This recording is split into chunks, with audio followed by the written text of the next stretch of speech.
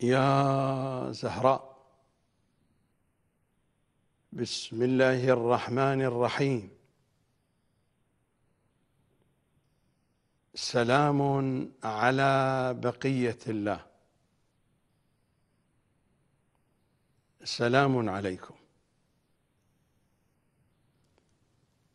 يا باحثا عن حسين عن حسين.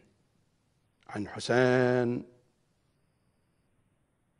يا سائلا عن حسين. عن حسين عن حسين.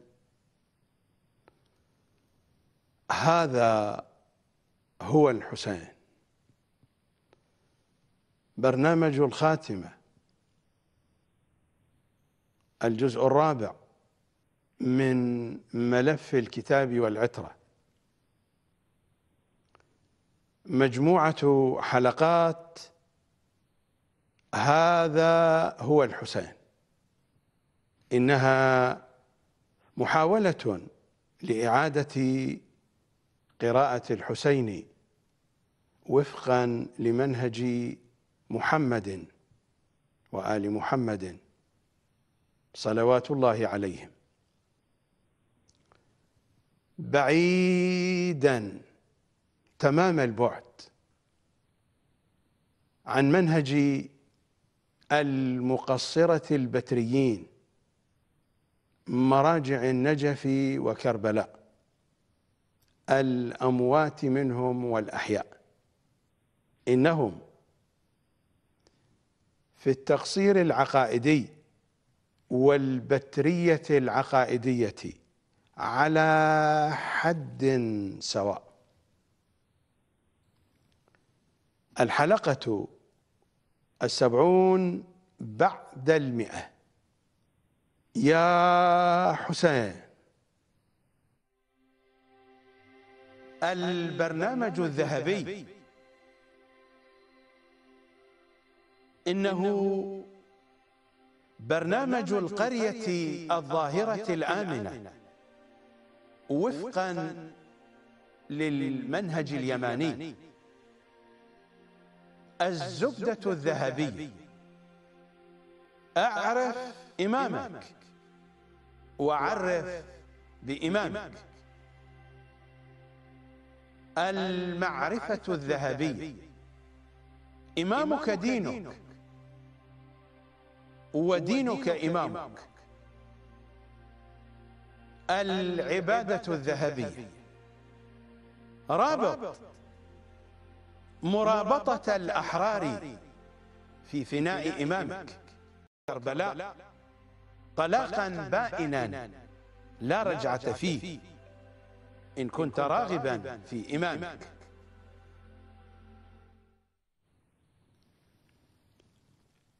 اللهم إني أجدد له في هذا اليوم. أجدد للحجة بن الحسن. أجدد بيعتي وعهدي وولايتي. أجددها مع كل نفس من أنفاسي. لكننا في ليلة عيد الغدير. هكذا نقرأ في دعاء تجديد العهد مع إمام زماننا صلوات الله وسلامه عليه. إنني أقرأ عليكم من مفاتيح الجنان. اللهم إني أجدد له في هذا اليوم وفي كل يوم عهدا وعقدا وبيعة في رقبتي.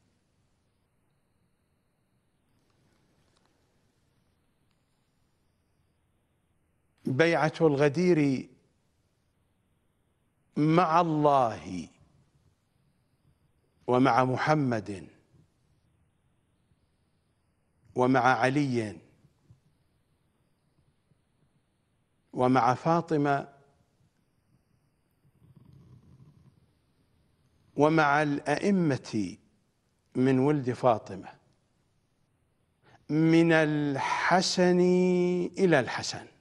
من الحسن المجتبى إلى الحسن العسكري. لو كانت على أتم وجه لا قيمة لها من دون بيعتنا لإمام زماننا الحجة بن الحسن العسكري. اللهم إني أجدد له في هذا اليوم وفي كل يوم عهدا وعقدا وبيعة في رقبتي. نذهب إلى فاصل.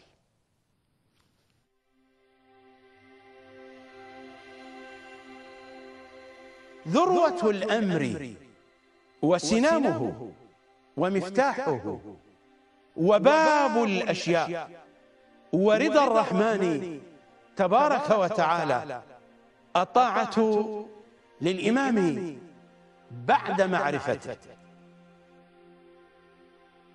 عن زرارة عن أبي جعفر باقر العلوم صلوات الله عليه.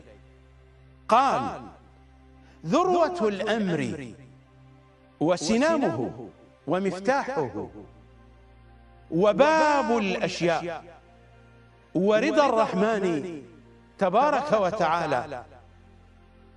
الطاعة للإمام. بعد معرفته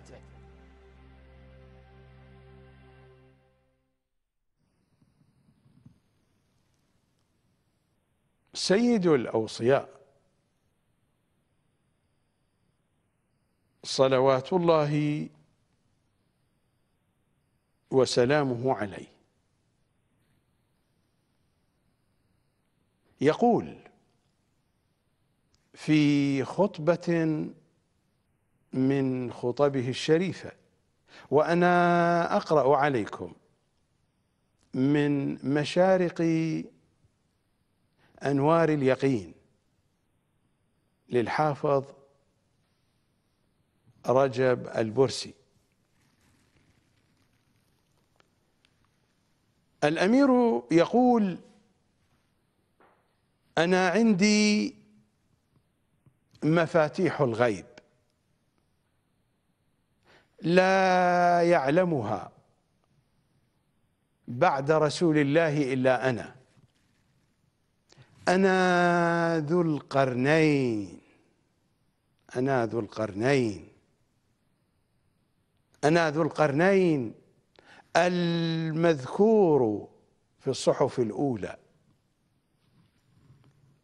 هذا هو مشارق أنوار اليقين في أسرار أمير المؤمنين طبعة مؤسسة الأعلمي بيروت لبنان في الصفحة السبعين بعد المئة صفحة مئة وسبعين. سيد الأوصياء هو الذي يقول أنا ذو القرنين المذكور في الصحف الأولى. مر الحديث في هذا المضمون في الحلقة الماضية. لا أريد أن أعيد الكلام لكنني أوردت كلمة الأمير هذه لأجل أن أذكركم بالإجمال ما تقدم الحديث عنه في حلقتنا الماضية. وقرأت عليكم من كتاب الاختصاص لشيخنا المفيد والطبعة طبعة مؤسسة النشر الإسلامي. قم المقدسه فيجتمع عليه الناس. إمامنا الباقر يحدث جابرا الجعفي عن سيد الشهداء في كرته التي سيقتل فيها في عصر الرجعة العظيمة. فيجتمع عليه الناس أبيضهم وأسودهم فيكثرون عليه أو فيكثرون عليه حتى يلجئوه إلى حرم الله إلى كربلاء.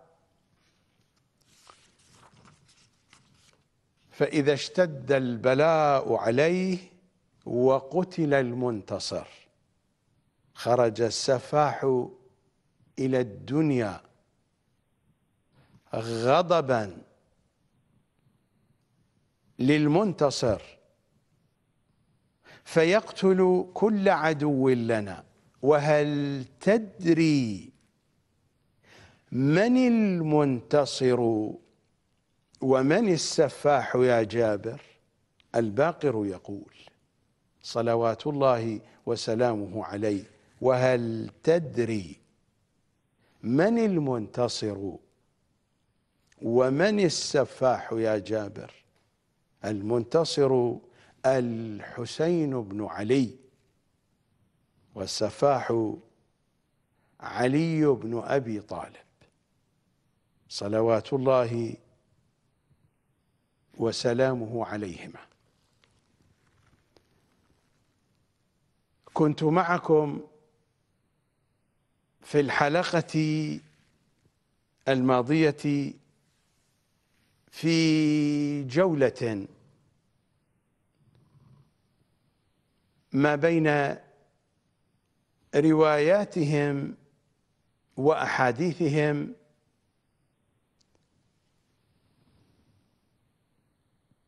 وأز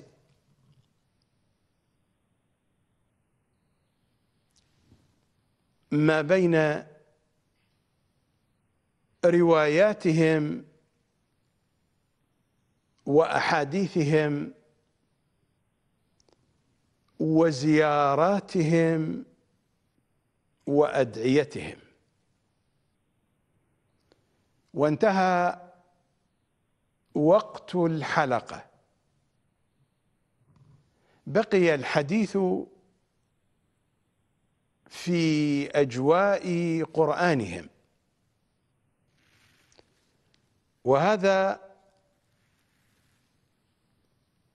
هو المصحف الشريف وهذه آيات قرآنهم.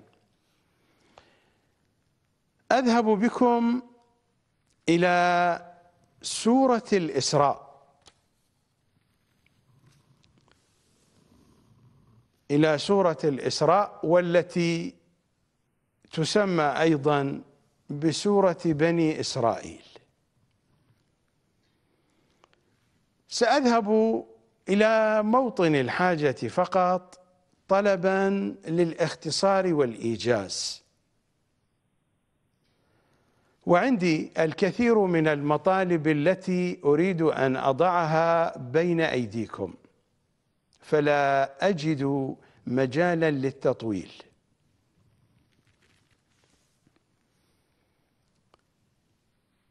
في الآية الرابعة بعد البسملة من سورة الإسراء. وقضينا إلى بني إسرائيل في الكتاب. لتفسدن في الأرض مرتين ولتعلن علوا كبيرا. إلى آخر الآيات التي تتحدث في هذا الموضوع. بحسب قاعدة المطالع والمجاري وهي أم القواعد التفسيرية بحسب المنهج العلوي. لا شأن لي بمنهج سقيفة بني ساعدة في التفسير وأبرأ إلى الحجة بن الحسن منه. ولا شأن لي بمنهج حوزة الطوسي حوزة النواجف الشوافع المعتزلة القطبيين لا شأن لي بمنهجهم الأخرق في التفسير وأبرأ إلى الحجة بن الحسن من؟ ابتداء من طوسيهم وانتهاء بسيستانيهم واستمرارا إلى القادمين الآتين بعد سيستانيهم. لا شأن لي بكل هرائهم هذا. قاعدة المطالع والمجاري هي أم القواعد التفسيرية بحسب المنهج العلوي. فمثلما الهلال له مطالع في اليوم الأول في اليوم الثاني في اليوم الثالث.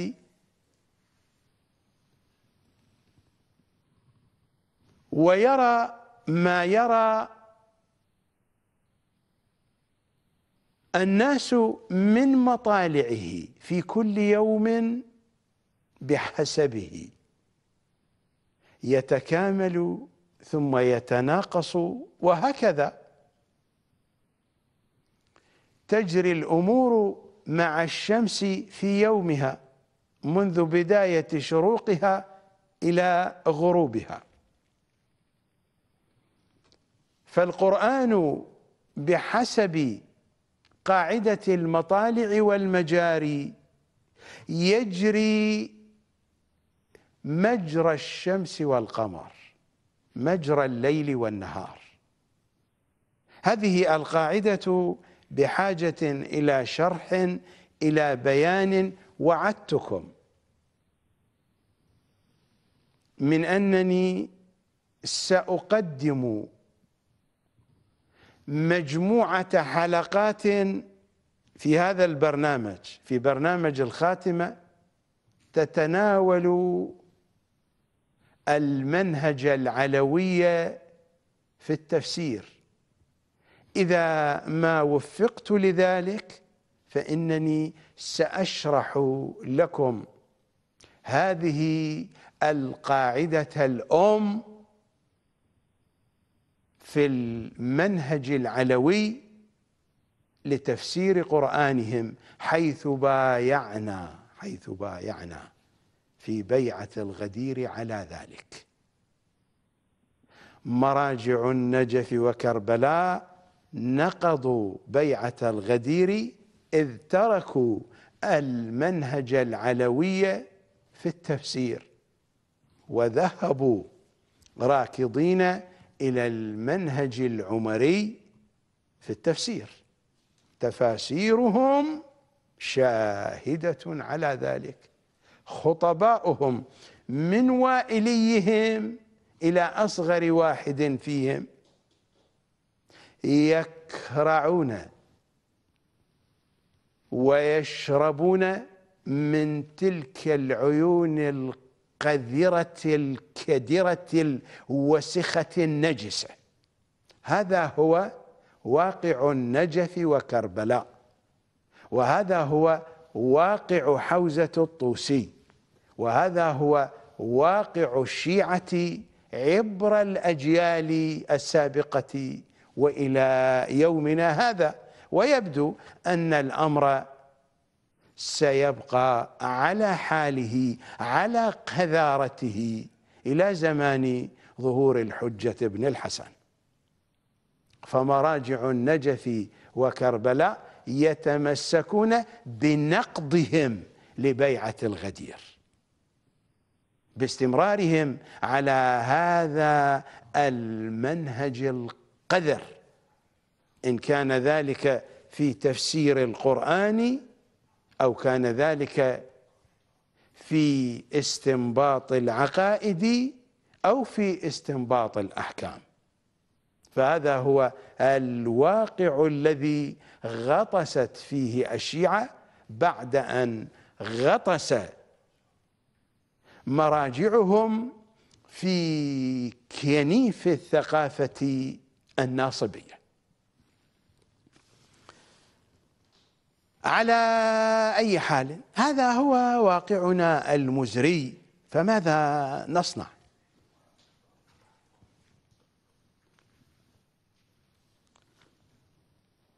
أعود إلى سورة الإسراء. وقضينا إلى بني إسرائيل في الكتاب لتفسدن في الأرض مرتين ولتعلن علوا كبيرا.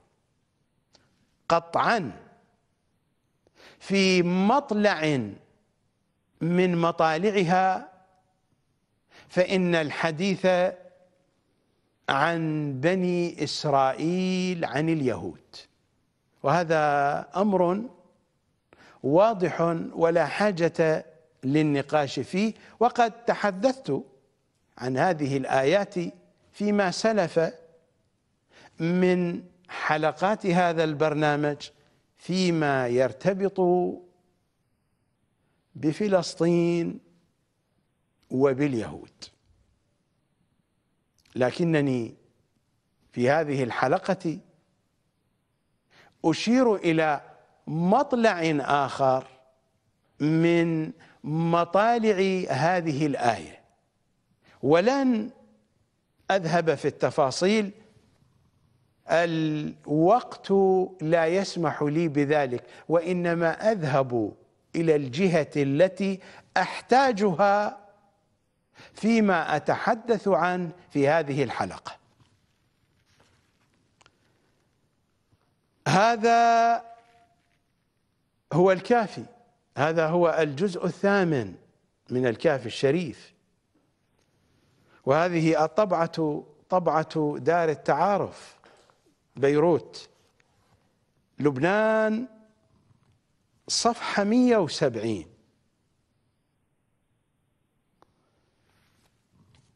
رقم الحديث 250 الحديث الخمسون بعد المئتين. صفحة 170 رقم الحديث 250 بسنده بسند الكليني. عن عبد الله بن القاسم البطل عن إمامنا الصادق صلوات الله وسلامه عليه في قوله تعالى وقضينا إلى بني إسرائيل في الكتاب لتفسدن في الأرض مرتين. ماذا قال الصادق؟ قتل علي بن أبي طالب وطعن الحسن. لتفسدن في الأرض مرتين. لا شأن لي بمنهج النواصب السقيفة في التفسير ولا شأن لي بمنهج نواصب النجف في التفسير. هذا تفسير علي وآل علي الذي بايعنا عليه في بيعة الغدير. وهذه ليلة عيد بيعة الغدير. وقضينا إلى بني إسرائيل في الكتاب لتفسدن في الأرض مرتين. ماذا قال الصادق قتل علي بن أبي طالب وطعن الحسن.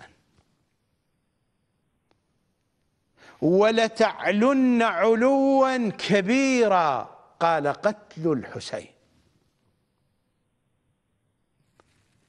الرواية تستمر في هذه البيانات لكنني أقف عند هذا الحد لأنني لا أريد أن أسهب في تفاصيل ما جاء في هذه الرواية الشريفة.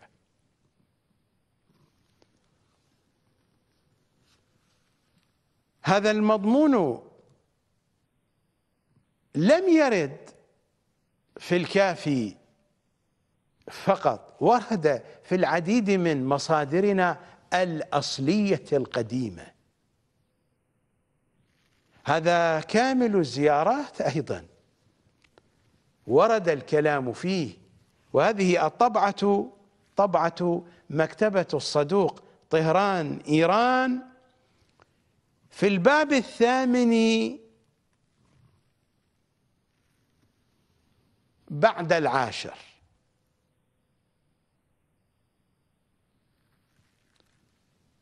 في الصفحة الستين الحديث الأول بسنده عن صالح بن سهل عن إمامنا الصادق صلوات الله عليه في الآية نفسها. وقضينا إلى بني إسرائيل في الكتاب لتفسدن في الأرض مرتين. قال قتل أمير المؤمنين وطعن الحسن بن علي. ولتعلن علوا كبيرا قتل الحسين بن علي. إلى بقية ما جاء في الرواية الشريفة.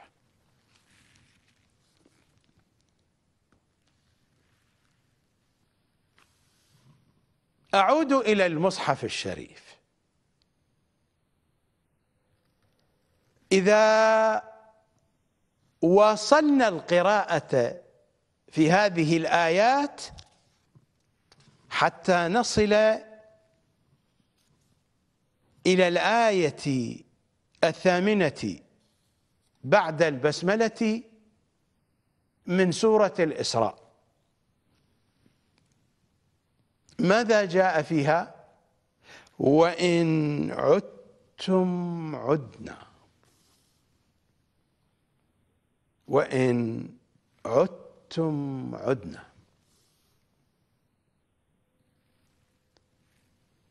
الآية تشير إلى أن القوم سيعودون إلى ما فعلوا. فمثلما قتلوا عليا سيقتلون عليا مرة أخرى. ومثلما قتلوا حسينا سيقتلون حسينا مرة أخرى. قطعا هذا السياق بحسب المطلع الذي قرأته عليكم قبل قليل من رواية الجزء الثامن من الكافي ومن رواية كامل الزيارات. الآيات لها مطالع ومجاري بحسب قاعدة المطالع والمجاري. هذا مطلع من مطالع هذه الآية. وإن عدتم عدنا. إلى أي شيء يعودون للذي تقدم في الآية الرابعة بعد البسملة من سورة الإسراء. لتفسدن في الأرض مرتين. ولتعلن علوا كبيرا.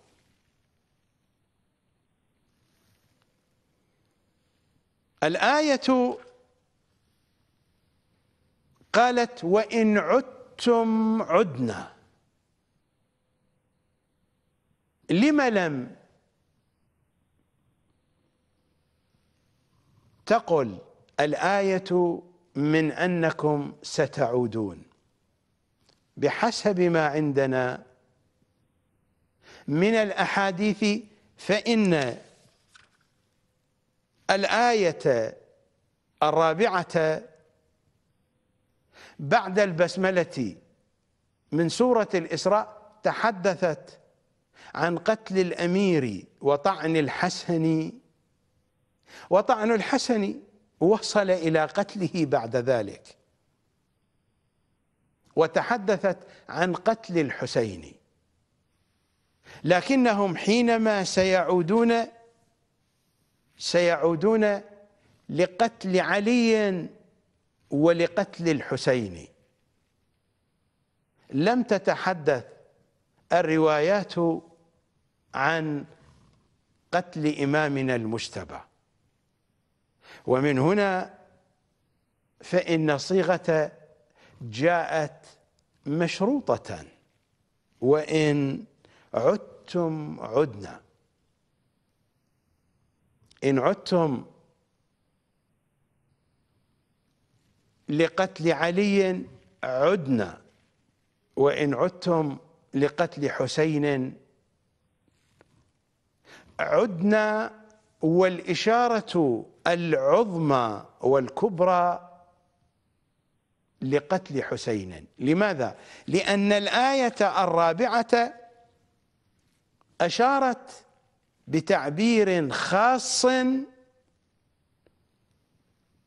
حين قالت ولتعلن علوا كبيرا. والآية تتحدث هنا عن قتل الحسين. قطعا. حينما تأتي الآية الثامنة بعد البسملة من سورة الإسراء فتقول وإن عدتم عدنا فإنها إما أن تكون ناظرة فقط إلى هذه الجهة وإما أن تكون ناظرة بالدرجة الأولى وبالأهمية القصوى لهذه الجهة. لمقتل الحسين صلوات الله وسلامه عليه الذي جاء التعبير عنه بنحو مخصوص في الآية. لتفسدن في الأرض مرتين. حين كان الحديث فيما يرتبط بأمير المؤمنين وبالحسن المجتبى. لكن حين انتقل الكلام إلى الحسين جاء التعبير في الآية هكذا ولتعلن علوا كبيرا. تلاحظون التطابق والتناسق والاتساق فيما تقدم من حديث في رواياتهم وزياراتهم وأدعيتهم وفيما تتحدث عنه هذه الآيات وفقا لتفسيرهم. لا شأن لي بتفسير نواصب سقيفة بني ساعدة ولا شأن لي بتفسير نواصب بني نجف. نذهب إلى فاصل.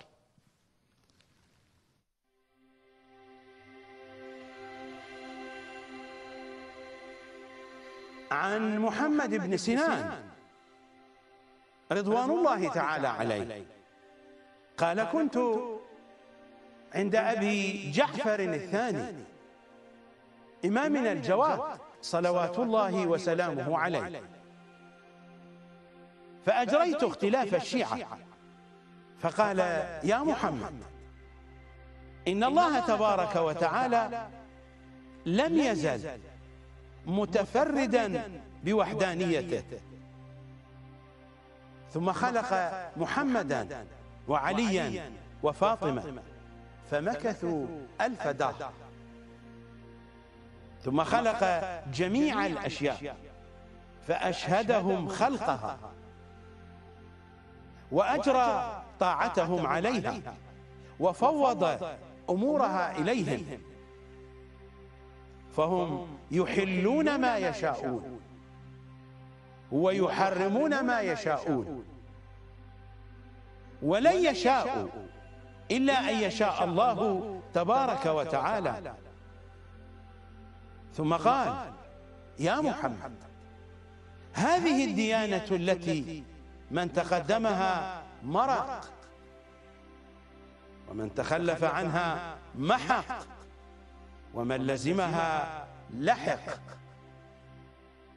خذها إليك يا محمد.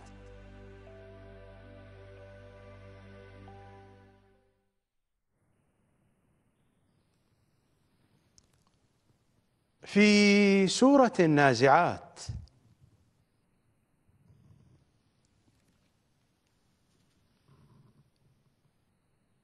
في الآية السادسة بعد البسملة والتي بعدها.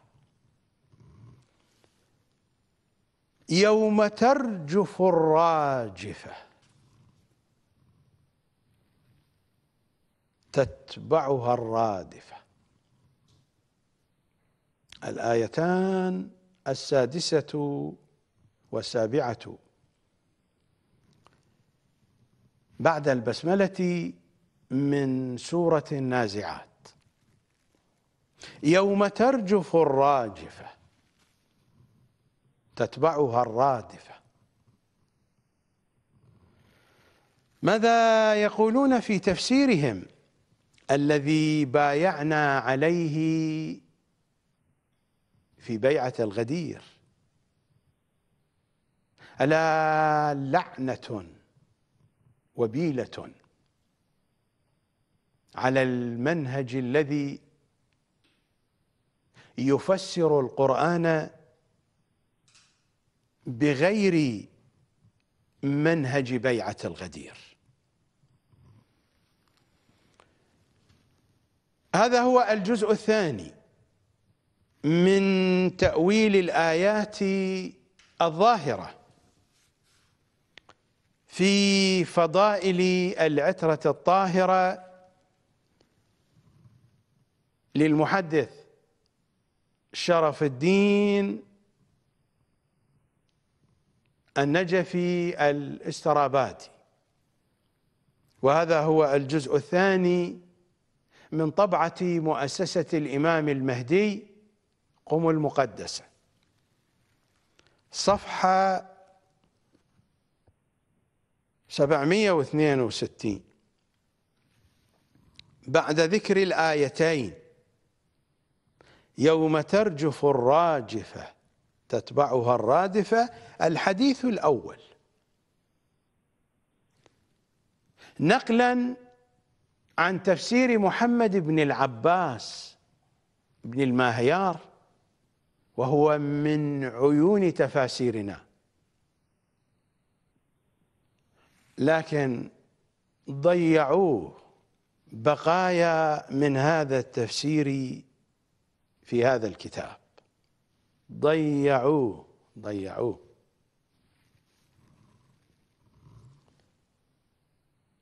حين أقول من أنه تفسير محمد بن العباس بن الماهيار ما هو بتفسيره؟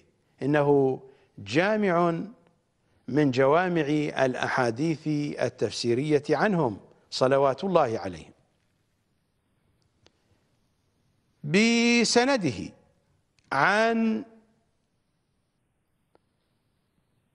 سليمان بن خالد قال قال أبو عبد الله إمامنا الصادق صلوات الله عليه في قوله عز وجل يوم ترجف الراجفة تتبعها الرادفة قال الراجفة الحسين بن علي.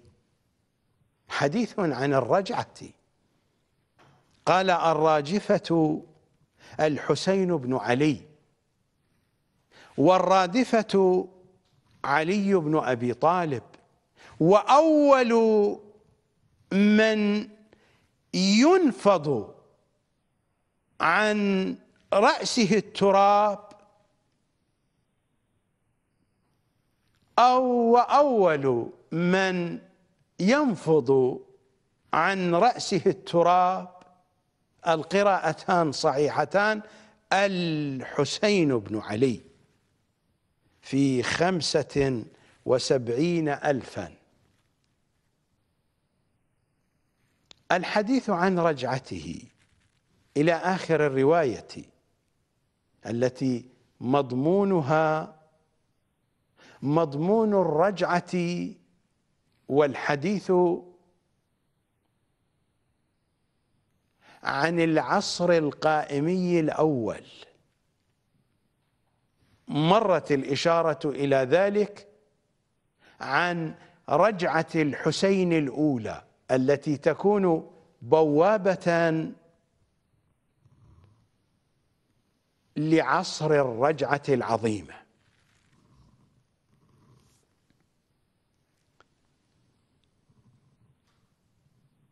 هذا الكلام في أصله في أصل الرجعة.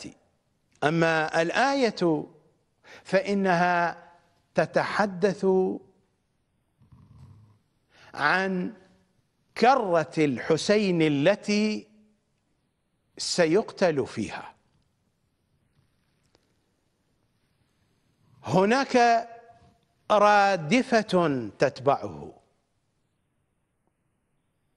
ففي مرحلة الراجفة أمير المؤمنين ليس موجودا. وإنما بعد الراجفة فإن الأمير سيكون موجودا حين يخرج غضبا للمنتصر للحسين مثلما مر علينا في حديث الباقر صلوات الله عليه مع جابر الجعفي الذي قرأته عليكم قبل قليل من اختصاص المفيد من كتاب الاختصاص لشيخنا المفيد. في الرجعة الأولى أمير المؤمنين سيكون موجودا. الأمير له كرات. مثلما يحدثنا عن نفسه كنت مع الأنبياء باطنا ومع رسول الله ظاهرا الأمير سيكون في بعض المواقع ظاهرا وفي بعض المواقع باطنا وفي بعض المواقع سيراه الناس لفترة محدودة ثم يغيب عن أبصارهم. وفي بعض المواضع سيرونه على طول الوقت. هذا علي صلوات الله وسلامه عليه. في رجعة الحسين الأولى علي سيكون موجودا. الروايات تخبرنا عن ذلك. سيكون موجودا مع وجود الحسين صلوات الله عليه. وبنحو ظاهر لكن الأمر للحسين. فالرجعة رجعته والكرة كرته والزمان زمانه. أما في الكرة التي سيقتل فيها الحسين صلوات الله وسلامه عليه علي ليس موجودا وإنما تكون له كرة بعد مقتل الحسين وهذا هو الذي تشير هذه الآيات إليه. يوم ترجف الراجفة تتبعها الرادفة ماذا قال الصادق صلوات الله وسلامه عليه؟ قال الراجفة الحسين بن علي والرادفة علي بن أبي طالب. هناك دقة في التعابير دقة في التعبير القرآني ودقة في تفسير الصادق صلوات الله وسلامه عليه. في القتل الأول لسيد الشهداء أتحدث عن عاشوراء في السنة الحادية والستين للهجرة. ماذا نقرأ في زياراته بعد القتل الأول؟ إنني أقرأ عليكم من مفاتيح الجنان. ماذا نقرأ في الزيارة المطلقة الأولى بحسب مفاتيح الجنان؟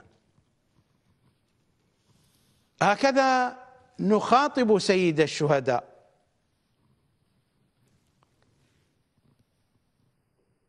بعد أن نقول له السلام عليك يا وتر الله الموتور في السماوات والأرض. أشهد أن دمك سكن في الخلد وشعرت له أضلة العرش. وبكى له جميع الخلائق إلى آخر الزيارة. أشهد أن دمك سكن في الخلد واقشعرت واقشعرت. له أضلة العرش والمضمون هو هو في أول زيارة من زياراته المخصوصة. وهي مروية عن الصادق أيضا كالزيارة المطلقة الأولى بحسب تبويب وفهرسة مفاتيح الجنان. فماذا نقرأ في الزيارة المخصوصة الأولى والتي نزور الحسين بها في شهر رجب وفي شهر شعبان؟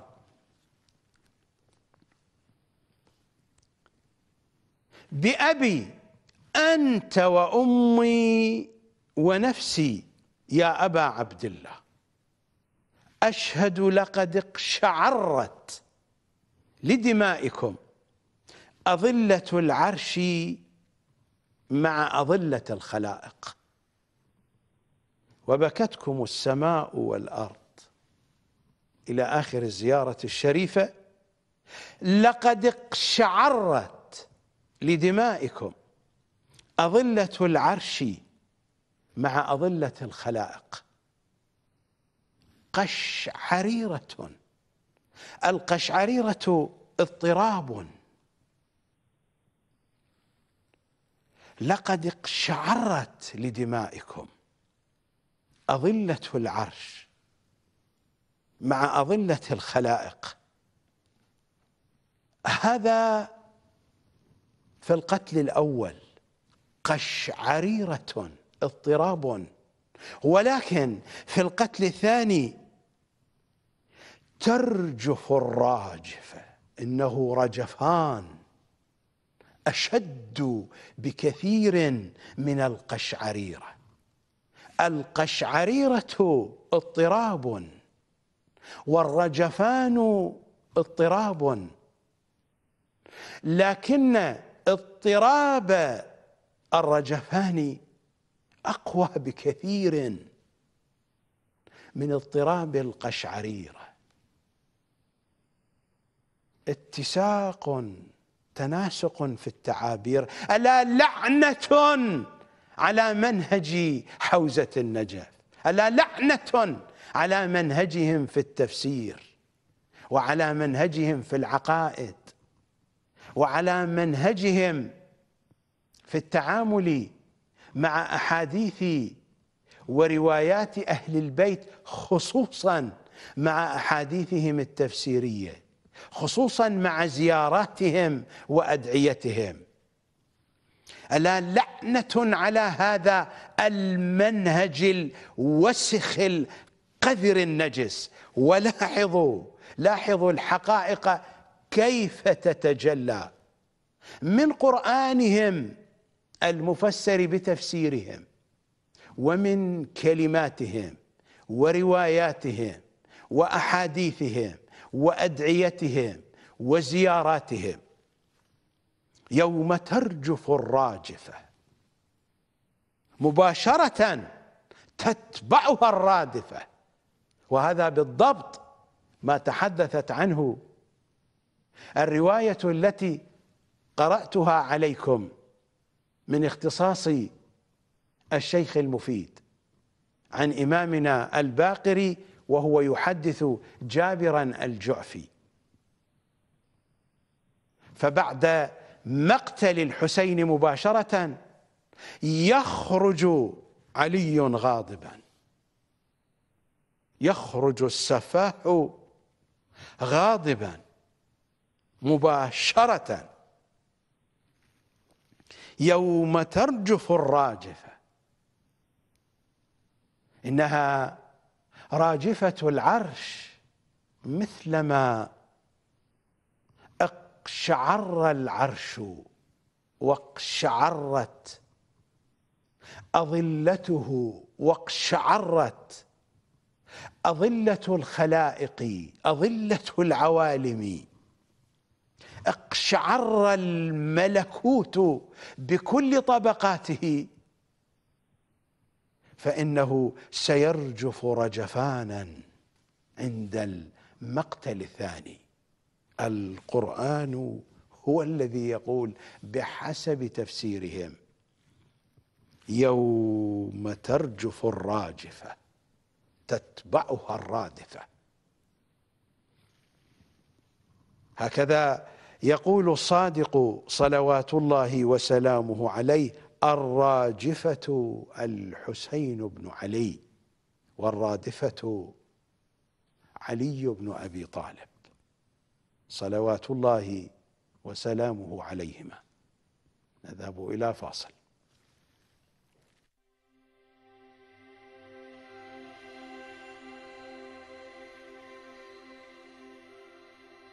عن أبي خالد الكابولي. قال سألت أبا جعفر باقر العلوم صلوات الله عليه.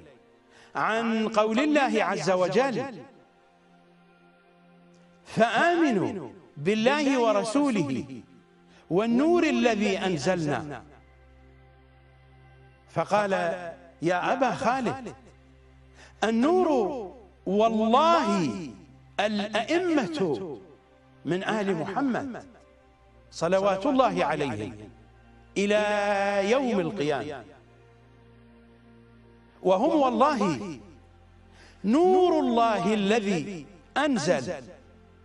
وهم والله نور الله في السماوات وفي الأرض. والله يا أبا خالد لنور الإمام في قلوب المؤمنين. أنور من الشمس المضيئة بالنهار. وهم والله ينورون قلوب المؤمنين. ويحجب الله عز وجل نورهم. عمن يشاء. فتظلم قلوبهم. والله يا أبا خالد. لا يحبنا عبد ويتولانا. حتى يطهر الله قلبه. ولا يطهر الله قلب عبد حتى يسلم لنا. ويكون سلما لنا. فإذا كان سلما لنا سلمه الله من شديد الحساب. وآمنه من فزع يوم القيامة الأكبر.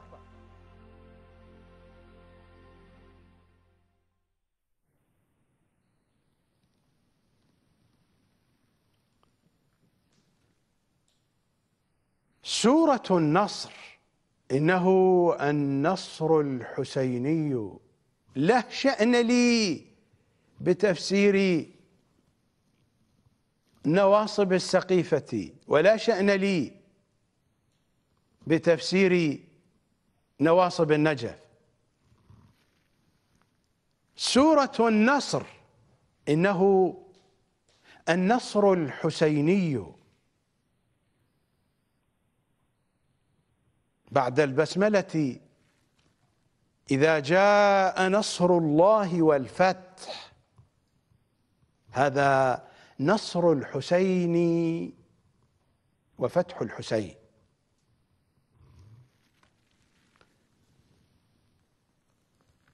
في كامل الزيارات والطبعة طبعة مكتبة الصدوق طهران إيران. الباب التاسع والسبعون الحديث الأول الزيارة الأولى. مروية عن إمامنا الصادق صلوات الله وسلامه عليه نزور بها سيد الشهداء. فماذا نقرأ في هذه الزيارة؟ في طقوسها وتفاصيلها. صفحة 215 ضمنت الأرض ومن عليها دمك وثأرك يا ابن رسول الله. صلى الله عليك. أشهد أن لك من الله ما وعدك من النصر والفتح. وأن لك من الله الوعد الصادق في هلاك أعدائك. وتمام موعد الله إياك. أشهد أن من تبعك الصادقون. إلى آخر الزيارة الشريفة. الفتح الحسيني إنما يتحقق حينما تتحقق الدولة المحمدية العظمى. إنها ثمار دماء الحسين. الدولة المحمدية العظمى التي هي الهدف الأصل من برنامج الخلافة. أتحدث عن خلافة الإنسان في الأرض. هذا البرنامج الإلهي ثمرته العظمى الدولة المحمدية العظمى التي تستمر خمسين ألف سنة. إنها دولة الرحمة للعالمين. إنها جنة الأرض. إنها جنة الدنيا. إنها جنة محمد في عالم الدنيا.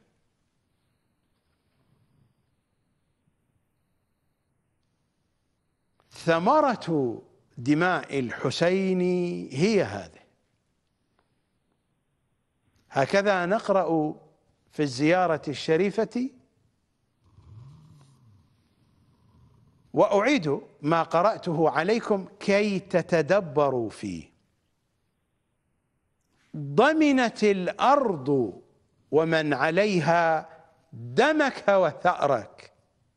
يا ابن رسول الله صلى الله عليك. أشهد أن لك من الله ما وعدك من النصر والفتح. فهذا نصر وفتح يترتب على ما يجري على الحسين في الكرة التي سيقتل فيها حينما يبدأ مشروعه في التطهير الأعظم لهذه الدنيا تمهيدا للدولة المحمدية العظمى والتي ستسبقها الدولة العلوية الكبرى.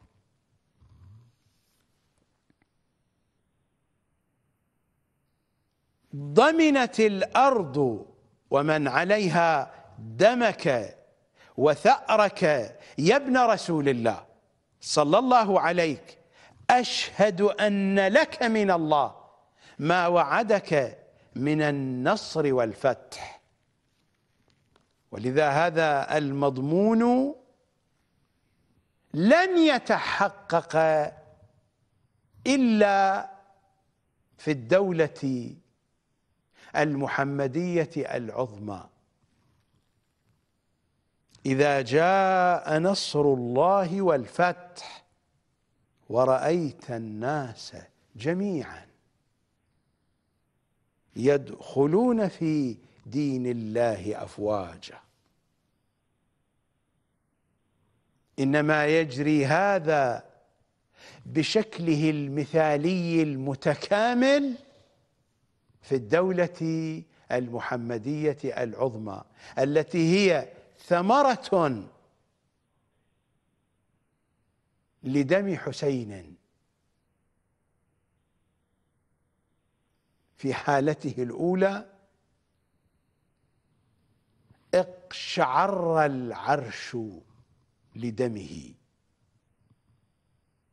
وفي حالته الثانية سيرجف رجفانا يوم ترجف الراجفة.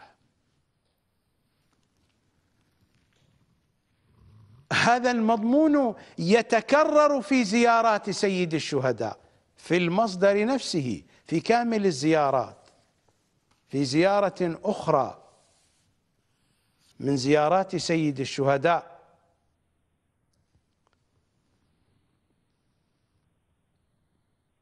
في الباب نفسه في الباب التاسع والسبعين صفحة 232 رقم الحديث 16 الحديث السادس عشر. عن الصادق أيضا. نزور الحسين ونخاطبه بهذا الخطاب. ضمن الأرض. من الذي ضمن الأرض؟ الله سبحانه وتعالى. لأننا نبدأ الحمد لله الواحد الأحد المتوحد بالأمور كلها. نستمر في الكلام. ضمن الأرض ومن عليها؟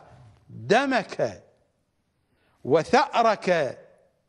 يا ابن رسول الله أشهد أن لك من الله ما وعدك من النصر والفتح. هذا الجمع بين النصر والفتح واضح في زيارات الحسين بالضبط كالذي في سورة النصر. إذا جاء نصر الله والفتح. المضامين هي هي. في قرآنهم في حديثهم في زياراتهم وفي كلماتهم الشريفة. من هنا فإننا إذا ما ذهبنا إلى سورة التكوير.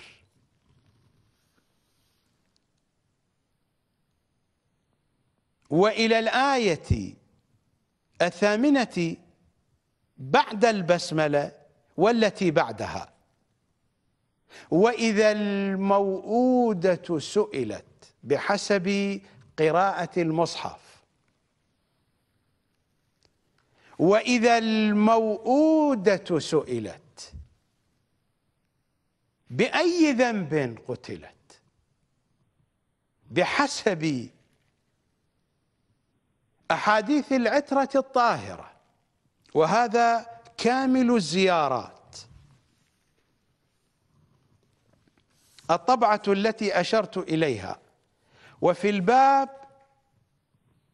الثامن عشر.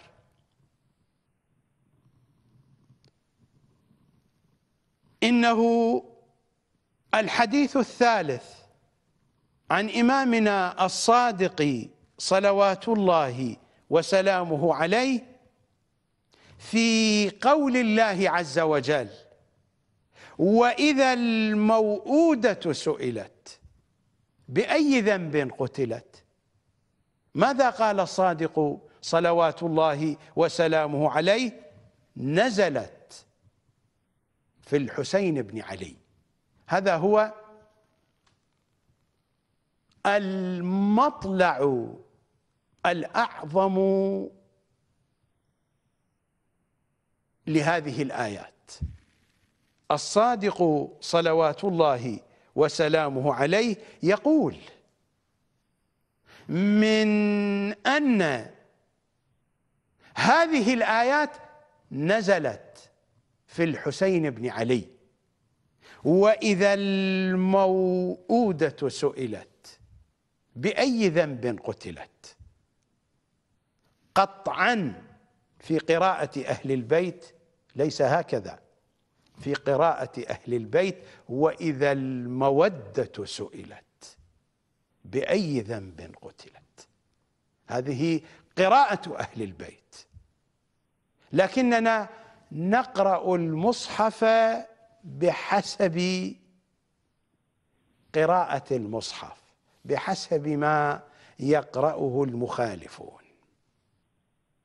هكذا أمرونا إلى زمان ظهور الحجة ابن الحسن إلا أننا نفسر القرآن بحسب قراءتهم.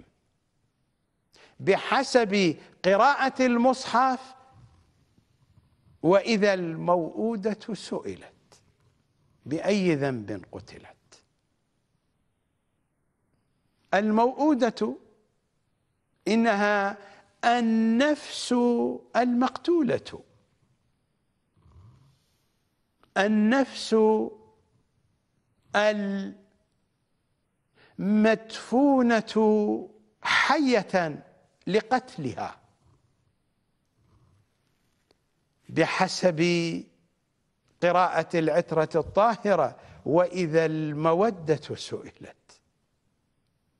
بأي ذنب قتلت نزلت في الحسين بن علي. هم جميعا قتلوا. رسول الله قتل. علي قتل. فاطمة قتلت. الحسن قتل. جميعهم قتلوا. لكن لماذا يتوجه السؤال إلى حسين فقط. لأن الحسين سيقتل أبشع قتل وسيتكرر هذا والقتلة الثانية أبشع من الأولى. الجريمة الأعظم هي هذه. قتل رسول الله جريمة لا تماثلها جريمة. قتل علي كذلك. قتل فاطمة كذلك. لكن قتل الحسين بحسب رسول الله بحسب أمير المؤمنين بحسب الصديقة الكبرى قتل حسين له شأنه وله خصوصيته. ولذا فإن السؤال يوجه إلى الخلائق جميعا. يوجه إلى البشر جميعا. قرأت عليكم في الزيارات ضمنت الأرض ومن عليها. دمك وثأرك يا ابن رسول الله. هذا السؤال يوجه إلى الجميع. وقرأت عليكم من أن الله ضمن الأرض ومن عليها. دمك وثأرك. ولذا هم مسؤولون؟ كلنا سنسأل. أنا وأنتم والجميع كلنا سنسأل. القضية كبيرة جدا. مسؤوليتنا عن قتل الحسين واضحة في كلماتهم. سيأتينا الحديث عن هذه التفاصيل اصطبروا علي وانتظروني فإنني سأضع بين أيديكم لباب الثقافة العلوية لباب الثقافة الزهرائية لباب الثقافة المهدوية. اصطبروا علي وانتظروني وتابعوا هذه الحلقات بدقة متناهية. وإذا المودة سئلت بأي ذنب قتلت؟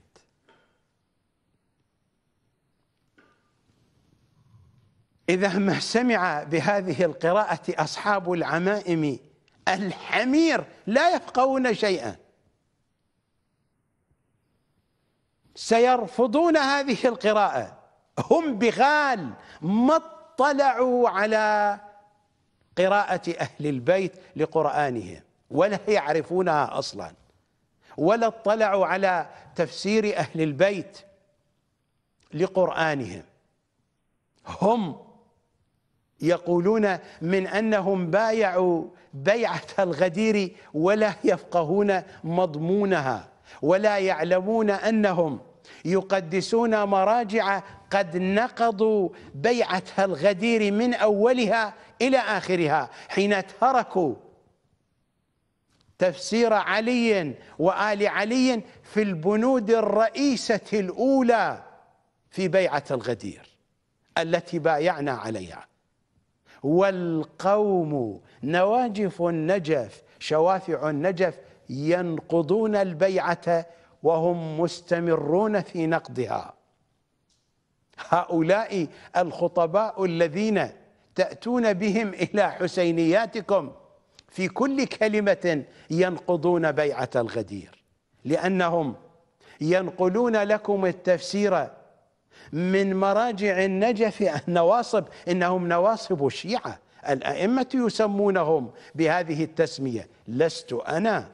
أحاديث الصادق أحاديث العترة الطاهرة هي التي تصف الذين ينقضون بيعة الغدير ويتركون تفسير علي ويذهبون إلى نواصب السقيفة الأئمة يصفونهم بهذا الوصف من أنهم نواصب الشيعة. فهؤلاء هم هم بأعينهم بأنفسهم بذواتهم. هذا الوصف ينطبق عليهم بدرجة مئة بالمئة. واقعهم العقائدي والفقهي والقرآني هو الذي يخبرنا عن ذلك. في كتبهم في دروسهم في بياناتهم في الفتاوى التي تصدر عنهم في فضائياتهم على ألسنة وكلائهم على ألسنة خطبائهم ما يدعون إليه ليل نهار وبعد ذلك ما يحاربونه من حديث العترة الطاهرة. لماذا يحاربون قناة القمر؟ لأنها تنشر ثقافة العترة الطاهرة. لماذا يحاربونني شخصيا؟ لأنني أصدع بالثقافة التي بايعت عليها في بيعة الغدير. لأنني أصدع بتفسير علي وآل علي وأبرأ بكل جرأة ووضوح من تفسير سقيفة بني ساعدة ومن تفسير سقيفة بني نجف. نذهب إلى فاصل.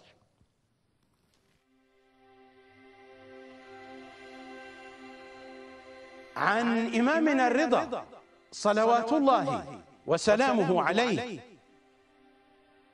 فمن ذا الذي يبلغ معرفة الإمام أو يمكنه اختياره؟ هيهات. هيهات. ضلت العقول وتاهت الحلوم وحارت الألباب وخسئت العيون وتصاغرت العظماء وتحيرت الحكماء وتقاصرت الحلماء وحصرت الخطباء وجهلت الألباء وكلت الشعراء وعجزت الأدباء وعيت البلغاء عن وصف شأن من شأنه أو فضيلة من فضائله وأقرت بالعجز والتقصير وكيف يوصف بكله أو ينعت بكنهه أو يفهم شيء من أمره. أو يوجد من يقوم مقامه ويغني غناه لا كيف وأن. وهو بحيث النجم. من يد المتناولين. ووصف الواصفين. فأين الاختيار من هذا؟ وأين العقول عن هذا؟ وأين يوجد مثل هذا؟ أتظنون أن ذلك يوجد في غير آل الرسول محمد صلى الله عليه وآله وسلم.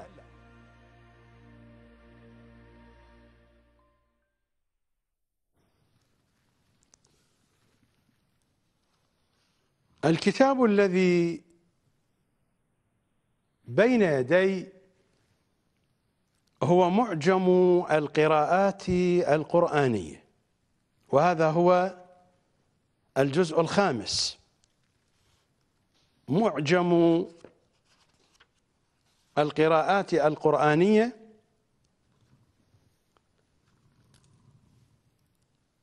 من أشهر معاجم القراءات القرآنية في زماننا.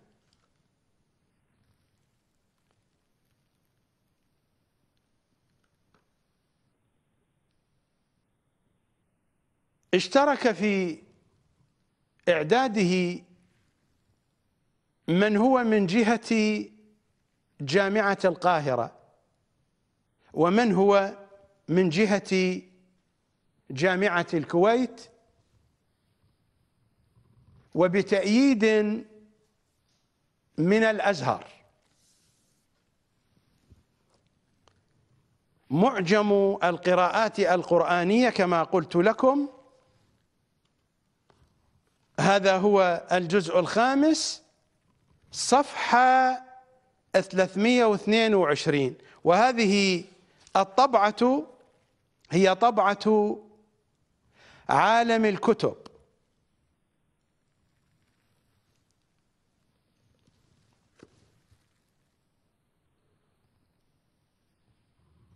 حينما وصلنا إلى الآية وإذا الموءودة سئلت. صفحة 322 ذكر عدة قراءات للموؤودة القراءة الخامسة التي أوردها هي قراءة الباقر والصادق وابن عباس. وإذا المودة سئلت فهؤلاء على اطلاع بها أما مراجع النجف وأصحاب العمائم. إذا ما التقيتم بمعمم فسلوه قولوا له هل هذه القراءة صحيحة؟ ستجدونه حمارا رسميا لا فقه له. هذا هو واقع أصحاب العمائم. سلوا أصحاب العمائم الكبيرة الذين تشاهدونهم في النجف وفي كربلاء. هؤلاء بغال بشكل رسمي. سلوهم عن هذه القراءة وأمثالها. سلوهم عن الثقافة التي تتعلمونها عبر هذه الشاشة. ستجدونهم بغالا وحميرا خصوصا خصوصا أصحاب العمائم الكبيرة كبار السن وأصحاب اللحى الطويلة ستجدونهم سطولا فارغة ليس فيها إلا القذارة ما فيها إلا قذارة النواصب. هؤلاء هم المخالفون لأهل البيت وهم يجمعون القراءات القرآنية. يثبتون هذه القراءة. هذا هو الجزء الخامس صفحة 322 معجم القراءات القرآنية. كما قلت لكم بتوثيق من الأزهر. القراءة الخامسة المودة. هم لا يعتقدون بها لكنهم على اطلاع بها يثبتونها. قراءة أبي جعفر الباقر أبي عبد الله يعني الصادق وابن عباس. وإذا المودة سئلت بأي ذنب قتلت؟ ما جاء من الرواية في كامل الزيارات من أنها نزلت في الحسين بن علي عن إمامنا الصادق والتي قرأتها عليكم قبل قليل؟ تشير إلى خصوصية مقتل الحسين وإلى بشاعة الجريمة وعظم الرزية وإلا فهم كلهم قد قتلوا وبقتلهم قتلت المودة. لكن الحسين يبقى لدمه قشعريرة في الأولى ولدمه رجفة ورجفان في الثانية. يوم ترجف الراجفة. وإذا الموءودة سئلت وإذا المودة سئلت وإذا المودة سئلت بأي ذنب قتلت؟ إنه الحسين صلوات الله وسلامه عليه. نذهب إلى فاصل.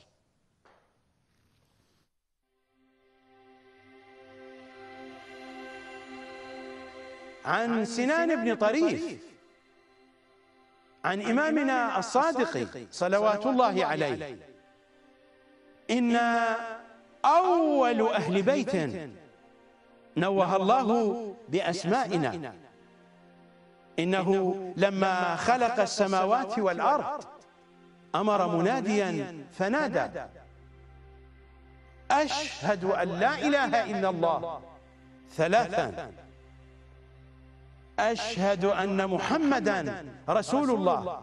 ثلاثا. أشهد أن عليا أمير المؤمنين حقا. ثلاثا.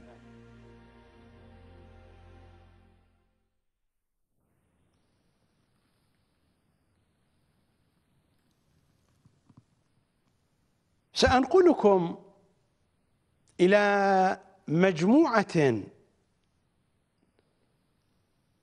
من الإشارات والإشعارات. في سورة البقرة وفي الآية الثلاثين بعد البسملة من سورة البقرة. وإذ قال ربك للملائكة إني جاعل في الأرض خليفة. برنامج الخلافة.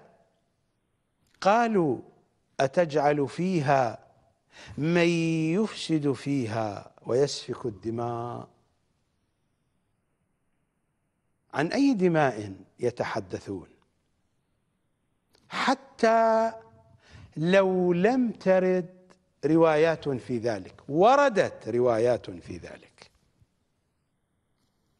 لكن حتى لو لم ترد روايات في ذلك فعن أي دماء يتحدث الملائكة.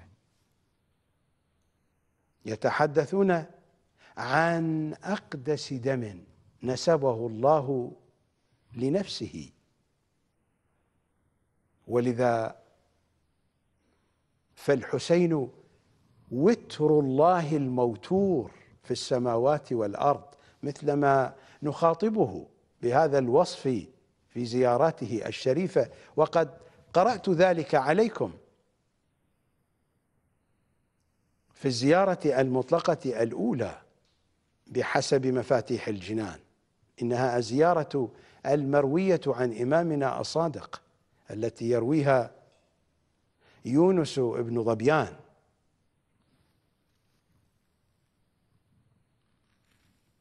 فالحسين وتر الله الموتور في السماوات والأرض. وتر الله ثار الله دم الله. وإذ قال ربك للملائكة إني جاعل في الأرض خليفة. اعتراض الملائكة هو صورة تقرب لنا معنى القشعريرة في العرش وأظلته. معنى قشعريرة أظلة الخلائق. معنى الرجفان يوم ترجف الراجفة.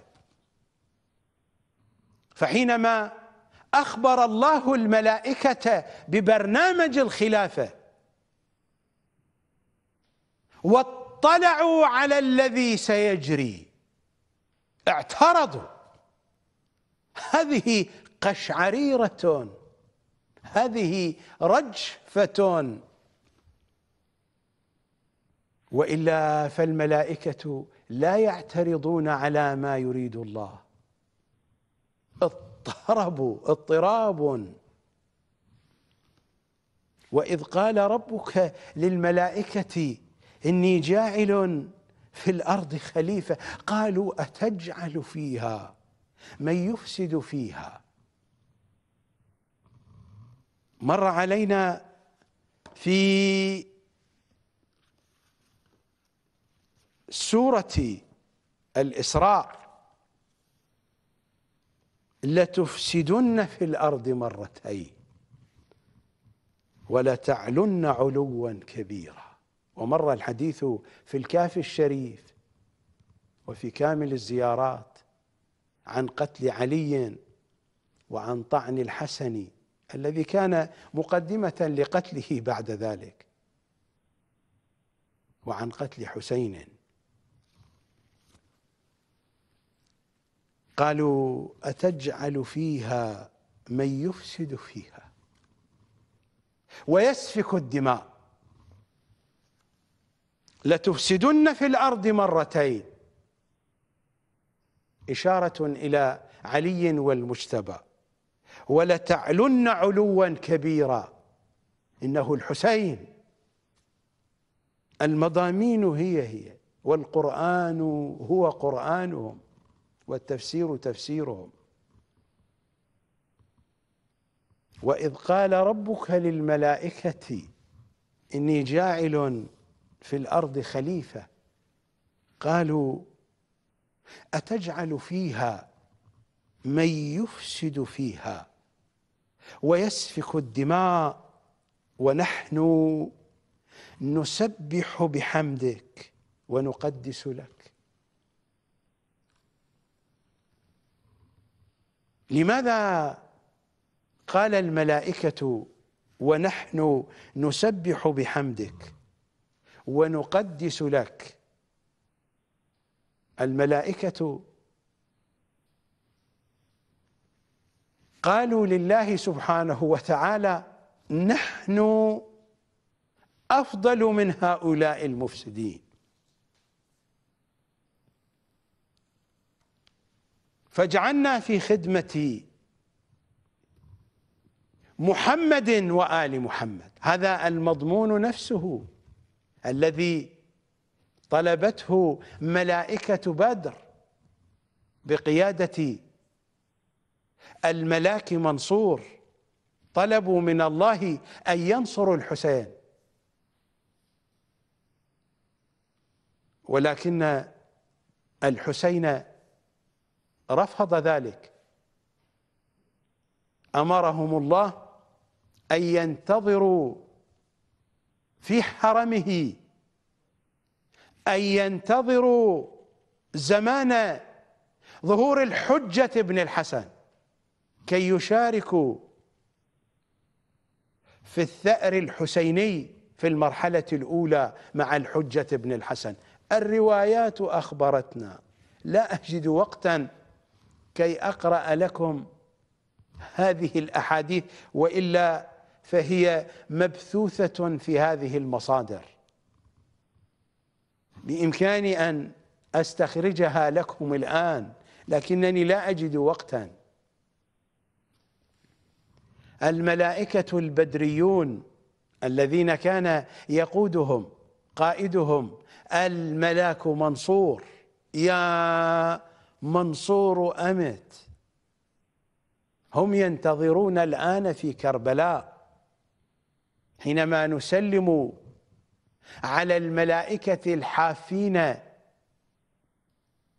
بحرمك المستغفرين لزوارك. إننا نسلم على هذه المجموعة بالدرجة الأولى. على الملائكة البدريين بقيادة قائدهم منصور الذين استقروا في كربلاء في حرم الحسين. في حالة انتظار ليوم ظهور الحجة ابن الحسن. المعاني هي هي فهؤلاء الملائكة عرضوا على الله بكلامهم هذا بنحو الإشارة أن يكونوا أعوانا في تطبيق برنامج الخلافة بعيدا عن هؤلاء المفسدين والمجرمين. قالوا أتجعل فيها من يفسد فيها ويسفك الدماء؟ ونحن نسبح بحمدك ونقدس لك. قال إني أعلم ما لا تعلمون. هذا السؤال هو سؤالكم أيضا. لماذا يقتل الحسين ثانية؟ علينا أن نسلم. قال إني أعلم ما لا تعلمون. فحينما نكون في مواجهة هذه الحقيقة هو يعلم ما لا نعلم. هم صلوات الله وسلامه عليهم أجمعين يعلمون ما لا نعلم. علينا أن نسلم. ثم تأتي ثقافة العترة. وعلم آدم الأسماء كلها. ثم عرضهم على الملائكة. فقال أنبئوني بأسماء هؤلاء. إن كنتم صادقين. قالوا سبحانك لا علم لنا إلا ما علمتنا إنك أنت العليم الحكيم. قال يا آدم أنبئهم بأسمائهم. فلما أنبأهم بأسمائهم قال ألم أقل لكم إني أعلم غيب السماوات والأرض وأعلم ما تبدون وما كنتم تكتمون. ما تبدون أنتم يا أيها الملائكة وما كنتم تكتمون ما كان يكتمه إبليس من الحسد.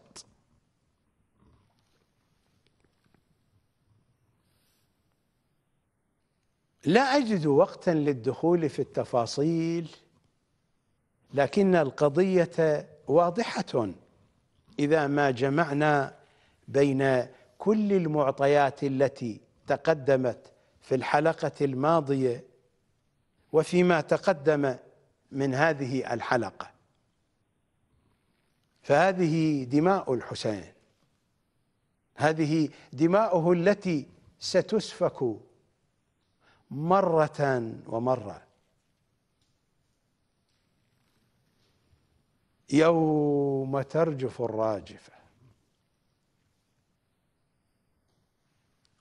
والموقف موقف التسليم وموقف التثقيف بثقافة العترة الطاهرة. هذا هو سبيل نجاتنا. قال يا آدم أنبئهم بأسمائهم. هذه ثقافة العترة الطاهرة.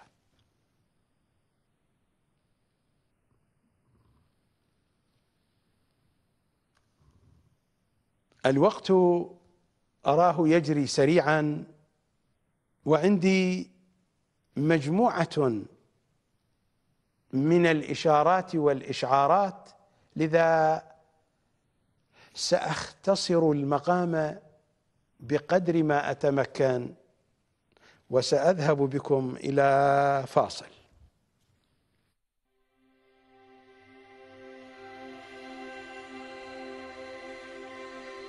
عن إمامنا الرضا صلوات الله وسلامه عليه.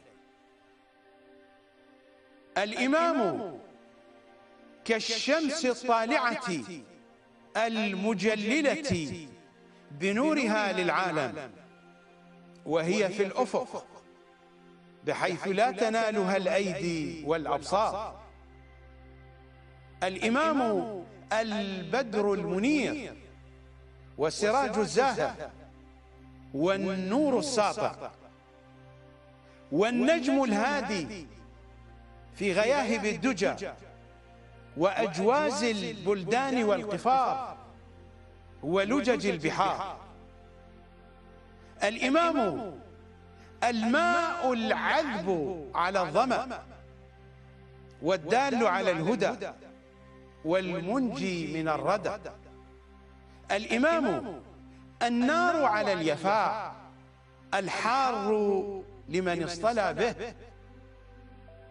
والدليل في المهالك من فارقه فهالك. الإمام السحاب الماطر والغيث الهاطل والشمس المضيئة والسماء الظليلة والأرض البسيطة والعين الغزيرة والغدير والروضة الإمام الأنيس الرفيق والوالد الشفيق والأخ الشقيق والأم البرة بالولد الصغير. ومفزع العباد في الداهية النآت الإمام أمين الله في خلقه وحجته على عباده وخليفته في بلاده. والداعي إلى الله. والذاب عن حرم الله. الإمام المطهر من الذنوب والمبرأ عن العيوب. المخصوص بالعلم الموسوم بالحلم.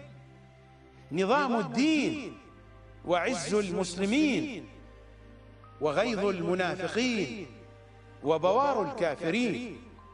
الإمام واحد دهره لا يدانيه أحد ولا يعادله عالم. ولا يوجد منه بدل. ولا له مثل ولا نظير. مخصوص بالفضل كله من غير طلب منه له ولا اكتساب بل اختصاص من المفضل الوهاب.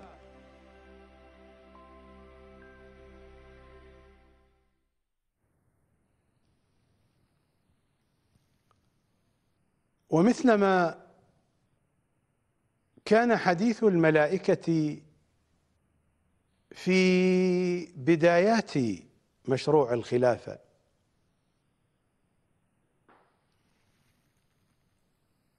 وكان ذكر دماء الحسين حاضرا. فإن ذكر دماء حسين سيكون حاضرا عند انطواء برنامج الخلافة. أتحدث عن خلافة الأرض. هذا هو الذي نقرأه في سورة التكوير. إذا الشمس كورت وإذا النجوم انكدرت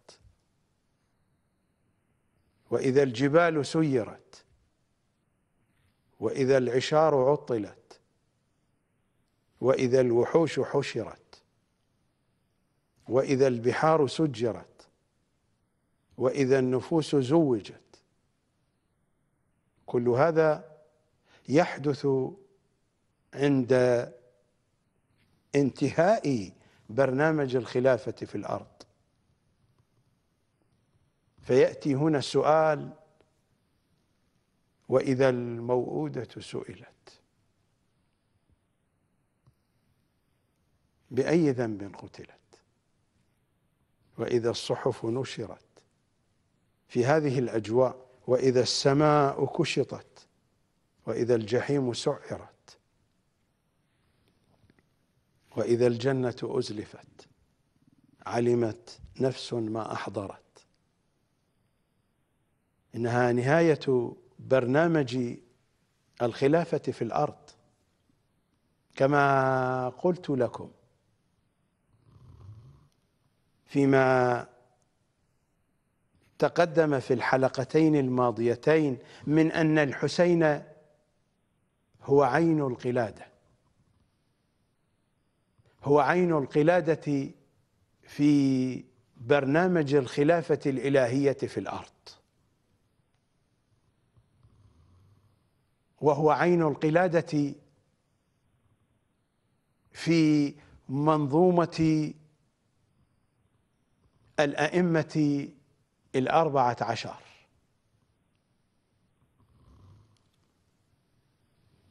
وهو عين القلادة في برنامج الرجعة العظيمة. وهو عين القلادة في المشروع المهدوي الأعظم. هذا هو حسيننا. يا باحثا ويا سائلا عن حسين عن حسين عن حسين. فمثلما كان الحسين حاضرا في حديث الملائكة. حينما أخبرهم الله من أنه سيبدأ برنامج الخلافة في الأرض.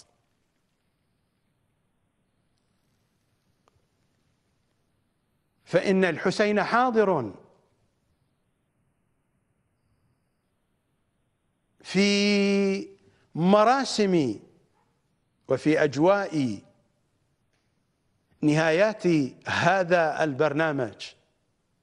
لذا يوجه السؤال إلى كل الخلائق. لماذا قتل الحسين؟ وإذا المودة سئلت بأي ذنب قتلت؟ هذا سؤال سيطرح على الجميع. وعلى الجميع أن يملكوا جوابا لهذا السؤال. هذا المضمون سيأتينا. سيأتي الحديث عن هذا المضمون.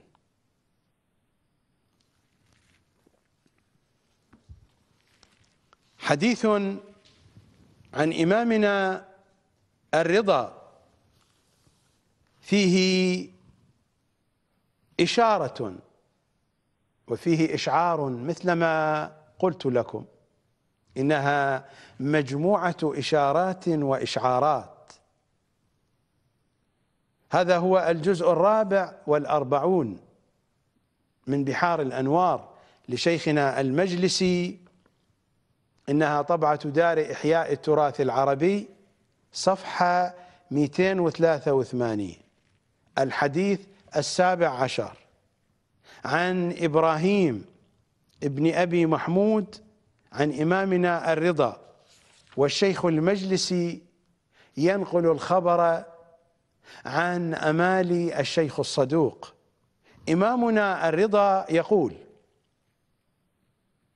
صلوات الله وسلامه عليه إن يوم الحسين أقرح جفوننا وأسبل دموعنا وأذل عزيزنا بأرض كرب وبلاء.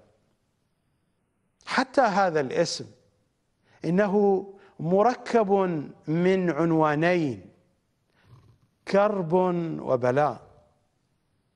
هناك كرب وهناك بلاء. هناك قتل أول وهناك قتل ثان كرب وبلاء. إن يوم الحسين أقرح جفوننا وأسبل دموعنا وأذل عزيزنا بأرض كرب وبلاء.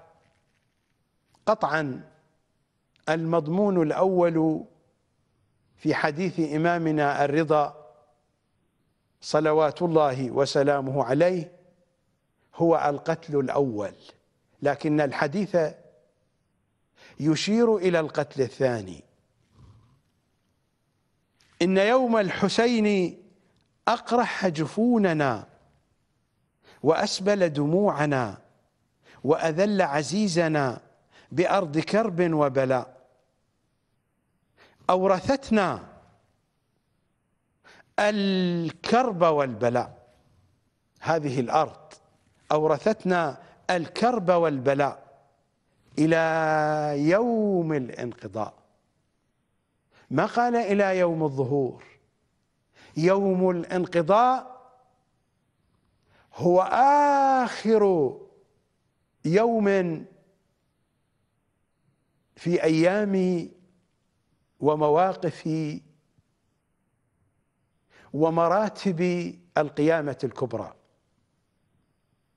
القيامة الكبرى تتألف من خمسين موقف.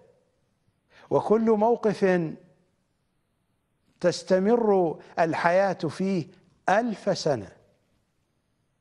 يوم القيامة يستمر خمسين ألف سنة. مواقفه خمسون. كل موقف يستمر ألف سنة. القيامة الكبرى عالم حياة. عالم معقد. وبعد ذلك تأتي الجنان والنيران.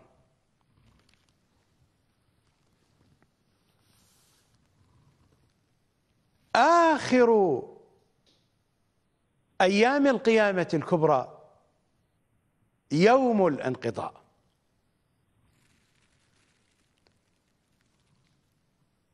فهذا التعبير يشير ويشعر بشكل واضح من أن القضية لن تقف عند الثأر المهدوي لدماء حسين. وهذا هو الذي حدثتكم عنه بالإجمال حينما عرضت بين أيديكم قائمة العناوين الرئيسة التي سأتناولها في أحاديثي في هذه الحلقات ذكرت لكم من أن الثأر الحسيني على مراحل. وما الثأر المهدوي إلا مرحلة من تلك المراحل من مراحل الثأر الحسيني. إن يوم الحسين أقرح جفوننا وأسبل دموعنا وأذل عزيزنا بأرض كرب وبلاء. أورثتنا الكرب والبلاء إلى يوم الانقضاء. نذهب إلى فاصل.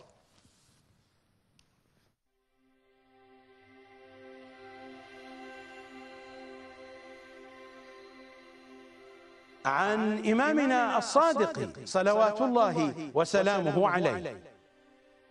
إن الله عز وجل أوضح بأئمة الهدى من أهل بيت نبينا عن دينه وأبلج بهم عن سبيل منهاجه وفتح بهم عن باطن ينابيع علمه.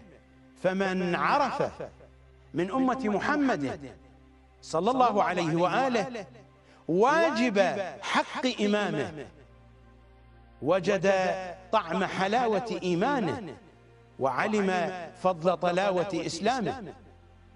لأن الله تبارك وتعالى نصب الإمام علما لخلقه. وجعله حجة على أهل مواده وعالمه. وألبسه الله تاج الوقار.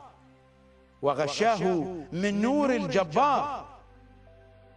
يمد بسبب إلى السماء. لا ينقطع عنه مواده ولا ينال ما عند الله إلا بجهة أسبابه. ولا يقبل الله أعمال العباد إلا بمعرفته.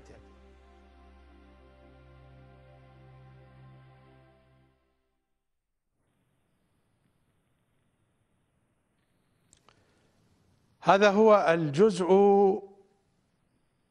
الثامن والتسعون من بحار الأنوار لشيخنا المجلسي.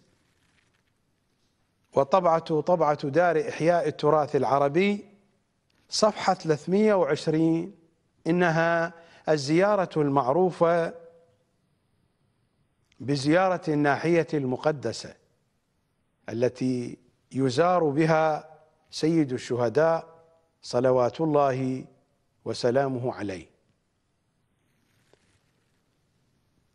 والنص الذي أقرأه عليكم ما رواه الشيخ المفيد وعنه نقل السيد ابن طاووس وكذلك الشيخ المجلسي.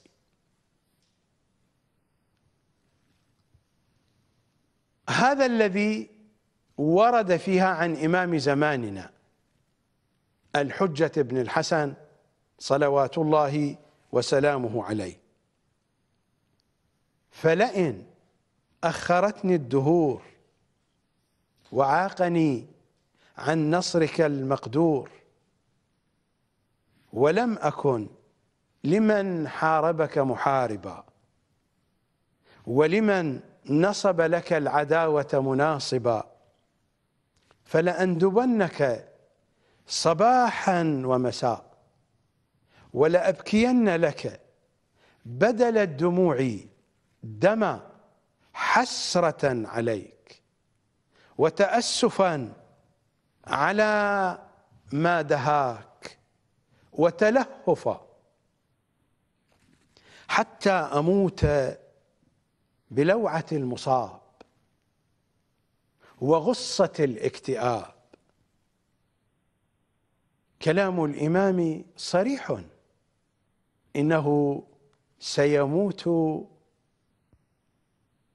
بلوعة المصاب. في العصر القائمي الأول سيقتل إمام زماننا. سيقتل ولوعة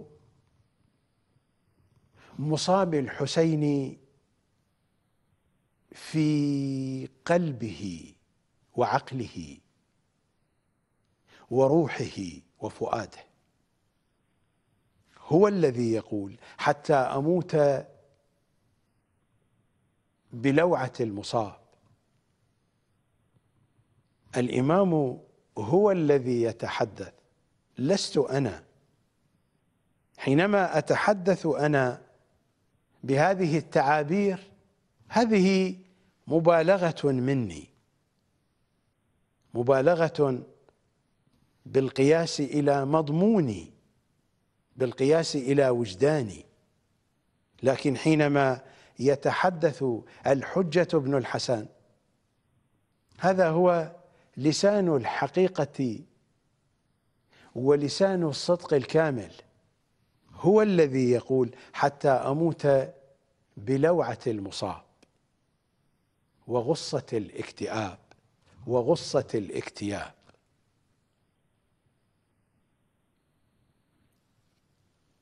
فمصاب الحسين لن يتوقف عند القتلة الأولى. قلت لكم هذه إشارات وإشعارات والإشارات والإشعارات لا يتحسس بها كل أحد. يتحسس بها المحبون المخلصون الأحرار الصادقون. أشر كما يقول الشاعر أشر للحر من قرب وبعد فإن الحر تكفيه الإشارة. أما من أظلمت دروبه وانتكس عقله وقلبه وانقلب وجدانه باتجاه بعيد عن العيون الصافية يمم العيون الكدرة القذرة التي حذرنا منها أمير المؤمنين. هؤلاء